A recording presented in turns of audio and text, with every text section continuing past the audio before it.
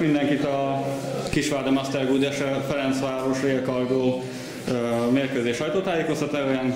Üdvözlöm a vendégcsapat vezetőedzőjét Elek Gábor, a vendégcsapat játékosát Emily Bölköt, a hazai csapat vezetőedzőjét Bakó Botondot és a hazai csapat játékosát.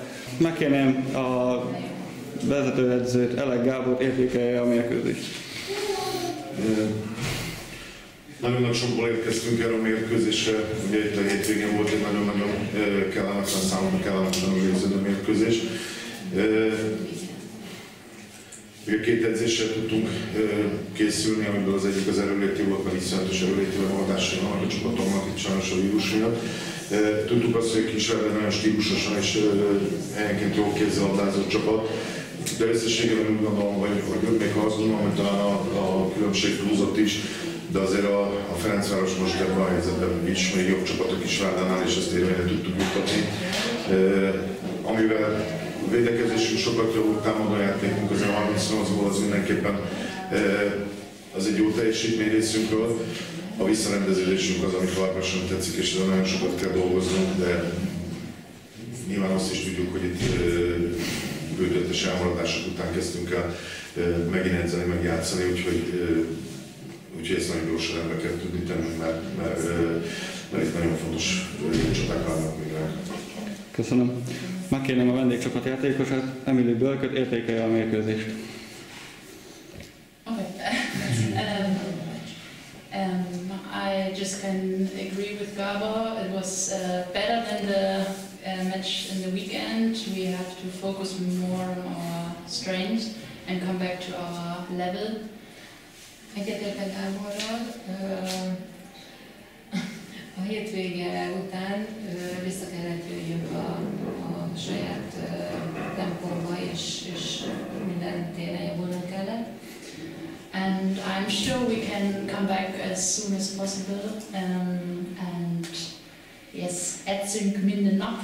And um, yes, I think we, we're going to improve ourselves.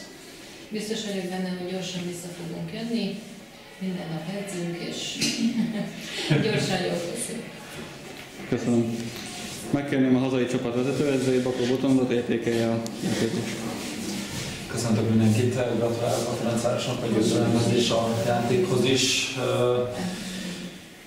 Sajnos fel voltam arra készülve, hogy ilyen hosszú kihagyás után több mint egy hónapja nem játszottunk se Venzőmencset, sem bajnokit, hogy hullámzóak leszünk. Nem, hogy ennyire.